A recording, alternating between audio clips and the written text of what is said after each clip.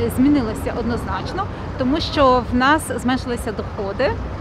Я працюю у видавничій галузі, от, вона також постраждала. Е, Так що, звичайно, е, почали зважувати витрати. Скажімо, ми могли ну там майже щотижня в кінозал і так далі. Тепер, звичайно, ми думаємо, чи йти е, і з, е, огляду на фінанси, і з огляду на е, безпеку. Так, тобто розваги і дозвілля вже відпало. Так, театри, кіно і так далі.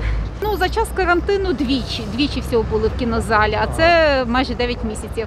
Ну, тобто на, на харчах, звичайно, тому що діти якось на харчах стараємося не економити, а якісь от поїздки, якісь розваги. Змінилися, звичайно.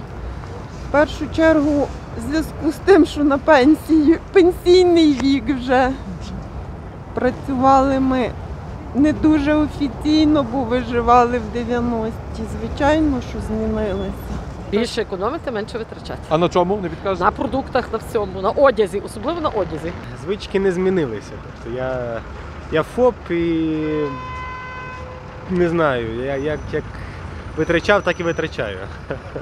Ну, за період карантину, звичайно, що почав менше тратити, е, менше ходити в такі заклади, як ресторани, піцерії, кав'ярні, бо невідомо, що буде, невідомо, як довго е, таке протримається. І ну, так само мої доходи впали, причому разюче.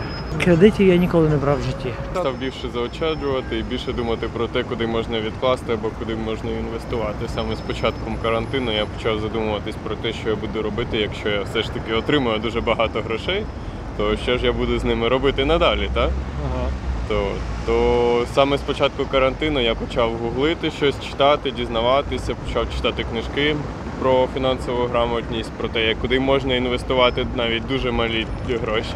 Насправді я щаслива і в мене робота залишилась, тому і звичка залишилась. Все воно стало менше, тому що фінансів не вистачає, звісно. Не змінилося, ні. Не змінилося. Ні. Я прихильниця того, що за будь-яких обставин треба відкладати 10%. Навіть якщо ти маєш тисячу, треба відкладати 100. І ну це важче. Це важче дотриматися, але я всіх вдома на це орієнтую, щоб відкладати. Нема такої можливості. Мінімальна пенсія і мінімальна зарплата. Ніяко, ні скільки. Нема такої Ні, немає. Я, я бачу, що зараз, зараз потрібно буде все-таки нам набувати.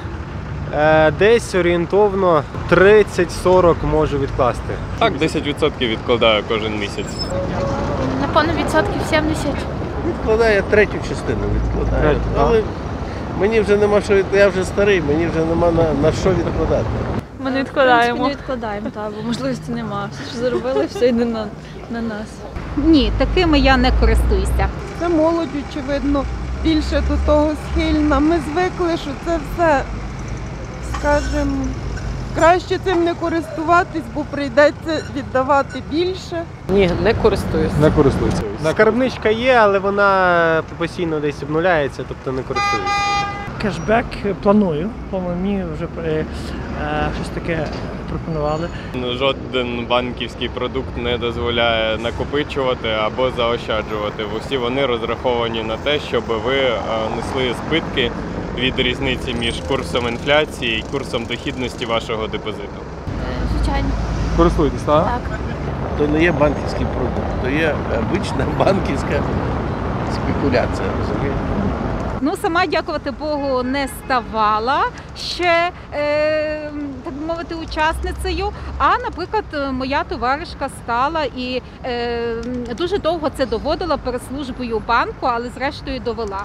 Ну, вона журналістка, до речі, за фахом, ваша колега, і їй було легше. Потім навіть службі безпеки, безпеки банку сказали, що якби не, не її наполегливість, то було б важко.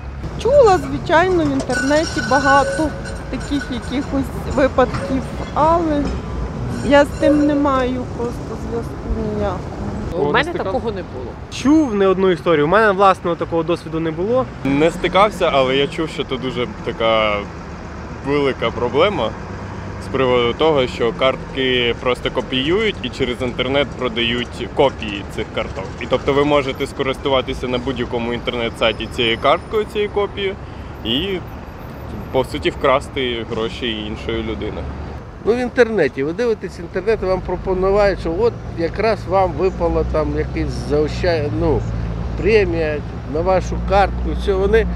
все заключається в тому, щоб ви надали або свої індивідуальні дані, як людини з під, е, фамілію, ім'я, або номер картки, або ну, якусь інформацію витягнути з людини, якщо вони вже.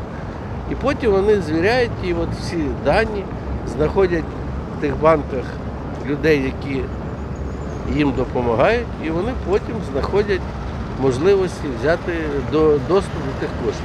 О, ні, ніколи в світі. Своїм дітям кажу. Е, Ну, бачите, не дарма кажуть, що безкоштовний сир лише в мишеловці. Зразу витираю то все. Добре. І більшість знайомих так робить, і син, до речі. Ні, не вірю, абсолютно. Бажано їх видаляти або навіть не, не читати про ці всі речі.